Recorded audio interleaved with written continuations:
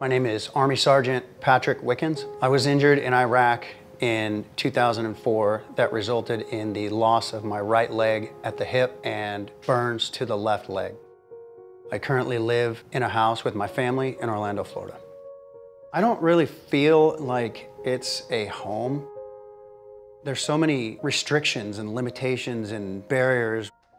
His house is just not set up for somebody in a wheelchair.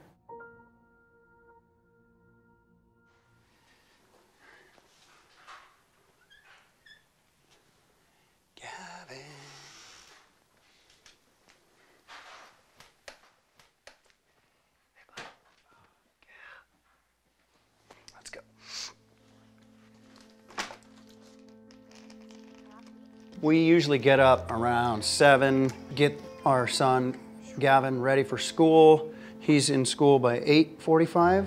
Then we get to hang out with this grumpy guy. watch it, watch it. Chasing the kid around is basically me driving to point A, hopping to wherever he is, point B, kind of hopping back to the chair.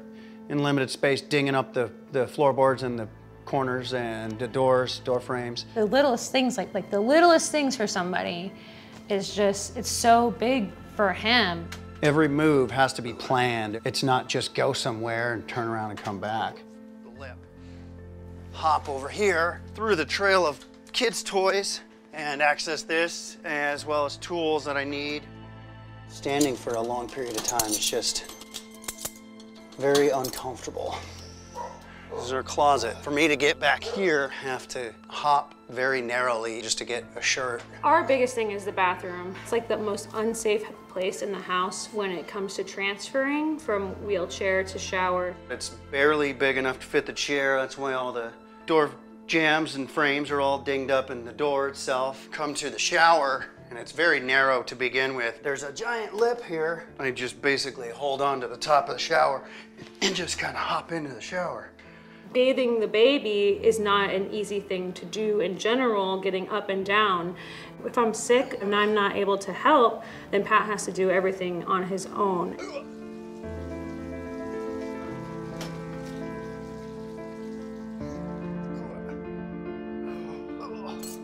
I get worried all the hopping here and hopping there. I think about what it's gonna be like later.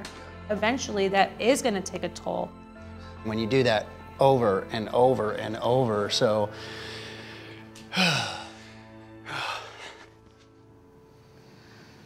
Homes for Our Troops is dreams come true.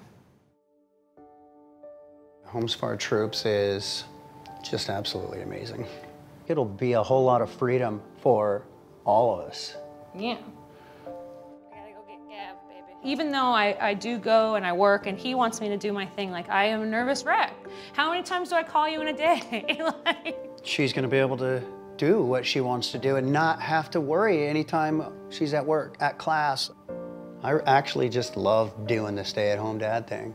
It's nice to just hang out with the kids and just have that time. That's the answer.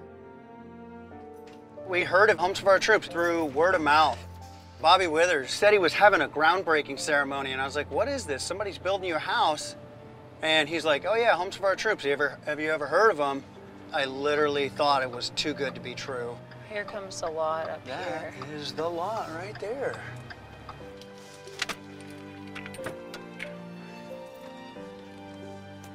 By the end of next year, there will be a fully handicap accessible home on the middle of this lot.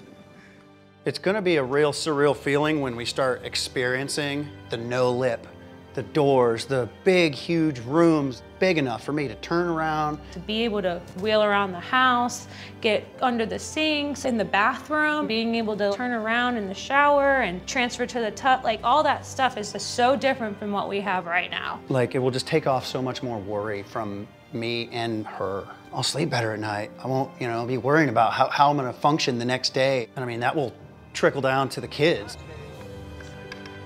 I feel like without the home in our future, it'd be just really hard for Pat. I know that there's light coming there at the end of the tunnel. These homes just bring comfort and stability and independence and freedom and liberation. There's no boundary after you get the keys to that house.